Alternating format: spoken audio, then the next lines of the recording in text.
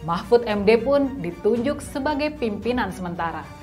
Akhirnya, Muktamar PKB di Semarang pada 2005 memilih Muhaimin Iskandar sebagai ketua umum yang baru, sementara Gus Dur tetap duduk sebagai ketua Dewan Syuro.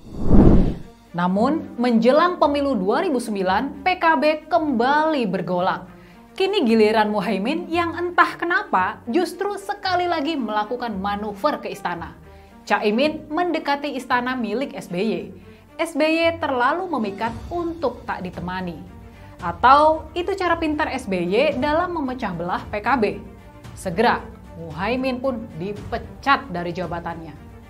Perseteruan pun segera terjadi. Caimin dan para pendukungnya yang tidak terima mengajukan gugatan terhadap Gus Dur ke pengadilan.